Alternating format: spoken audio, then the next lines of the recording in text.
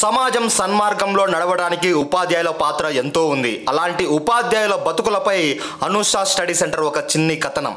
సమాజంలో నాటి నుండి నేటి వరకు విద్యను నమ్ముకొని భవిష్యత్ తరాల జ్యోతులను వెలిగిస్తున్న వారు ఉపాధ్యాయులే. వీరిలో ప్రభుత్వ ఉపాధ్యాయుల కన్నా ప్రైవేటు ఉపాధ్యాయుల బతుకులు అత్యంత దారుణంగా తయారయ్యాయి. ముఖ్యంగా తెలంగాణలో ప్రైవేట్ టీచర్లు గోస పెడుతున్నారు. కరోనా కారణంగా అన్ని రంగాలతో పాటు విద్యారంగం కూడా కుదేలైంది. దాదాపు సంవత్సర కాలం పాటు పాఠశాలలు కళాశాలలు మూసివేయడంతో ప్రైవేట్ టీచర్లు లెక్చరర్లు నానా అవస్థలు పడ్డారు. జీవనాధారం అని నమ్మిన విద్య జీవన ప్రమాణాన్ని స్తంభింపజేసి రోరిన పడేసిందని వాపోయారు. బతుకు తెరువు కోసం కుటుంబ పోషణ కోసం తోచిన పనులు చేసుకుంటూ కాలం వెళ్ళబుచ్చుతున్నారు. బాధ్యతలకు బందీ అయ్యి చదువు అనుభవం మేధస్సు ఉండి మూగబోయిన గొంతులై కూలీలుగా మారి టీచర్లు చాలామంది ఉన్నారు. సరిగ్గా రెండు నెలల క్రితం పాఠశాలలు పలు విద్యా సంస్థలు పునఃప్రారంభం అనేసరికి ప్రైవేటు ఉపాధ్యాయ లోకానికి ఆశలు చిగురించాయి ఆరు నుండి పదవ తరగతిపై ఆపై వివిధ కోర్సులకు బోధించే ఉపాధ్యాయులకు కొంత ఊరట లభించింది. కష్టాలు తీరాయని సంతోషపడ్డారు.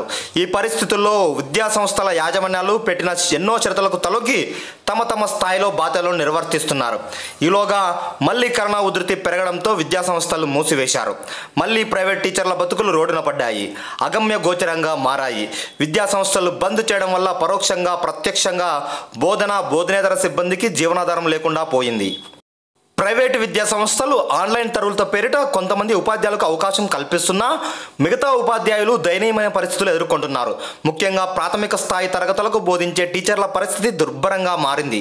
పట్టణాల్లో నివాసం ఉంటున్న వారు ఇంటి అద్దెలు పిల్లల ఖర్చులు కుటుంబ పోషణకు అయ్యే ఖర్చులు భరించలేక తీవ్ర మానసిక వేదనకు గురై కొంతమంది ఆత్మహత్య చేసుకుంటున్న సంఘటనలు కూడా వెలుగు చూశాయి. ఆర్థిక ఇబ్బందులతో సతమవుతూ సెక్యూరిటీ ఉద్యానికి వెళ్ళే ఎంఎస్సి బీఈడీలకు కూడా ఉన్నారు. వీరు ఇన్ని ఇబ్బందులు పడుతున్నా అధికారులు ఇటువైపు దృష్టి సారించలేకపోవడం బాధాకరం. భవిష్యత్తు తరాలను తీర్చిదిద్దే టీచర్ల భవితకు బీటలు వారుతుంటే కనీసం పట్టించుకోకపోవడం ఏ రకంగానూ సమర్థనీయం కాదు.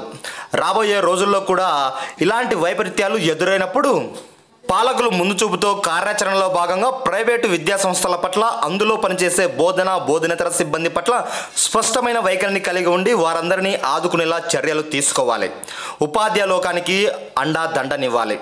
ఇదే మా అనుష స్టడీ సెంటర్ యొక్క చిన్ని కథనం. ప్రైవేటు ఉపాధ్యాయులకు తోడుగా నిలవాలన్నదే మా ఆశయం.